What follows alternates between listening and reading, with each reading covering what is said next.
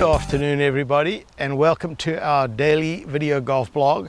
Today is Saturday, June the 23rd, 2018 and on Saturdays we do short game Saturdays and the past three Saturdays we've done pitching from an uphill lie, pitching from a downhill lie and last week we did pitching from a side hill lie with the ball above your feet. So to round everything off, today I'm going to do pitching from a side hill lie when the ball is below your feet. I think this is the hardest of the four shots and the key here is your spine angle. When you set up, bend more from the waist than with the knees. When you bend from the knees, sometimes I see students bend like this and now the knees are in the way so now they, they get further away from the ball and then when they swing even the slightest upward movement they're going to top the ball and make the ball roll along the ground.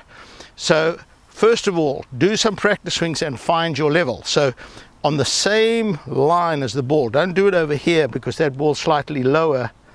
Go over here and do some practice swings and I can see i just want the club to brush. I don't want to hit the ground and I definitely don't want to miss the ground so when I'm brushing the ground, it's telling me this is the spine angle that I need to play the shot correctly. So now when I go up to the ball, I just focus on keeping my spine angle. So even when I'm finished, I haven't really looked at where I'm going. I was going to that uh, little can of spray over there.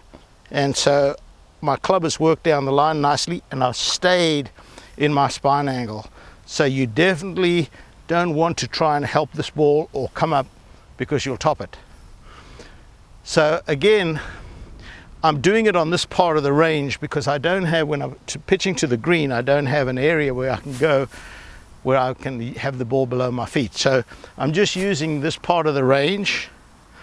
And so you can find yourself a little area somewhere on the driving range where you can hit balls and have the ball below your feet because you definitely want to practice this you don't want to go to the course and be hitting the shot, you know, for the first time. So concentrate on staying down. The second key, you can see I hit that ball pretty straight. And the second key is making sure that the club works down the line. So look at that ball. That ball's going to drop right on line with that can because I let the club work there. If I let the club pull in like this, I'm not going to hit the ball very straight. So there's the fourth in our series of side hill lies and uphill lies. Another shot for your growing repertoire of shots around the green.